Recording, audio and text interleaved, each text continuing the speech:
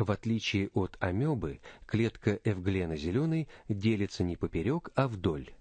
Сначала происходит поперечное деление ядра, а затем продольное деление всей клетки. Так образуются две молодые эвглены. При этом жгутик, сократительная вакуоль и светочувствительный глазок остаются только у одной из них, а другая достраивает их заново.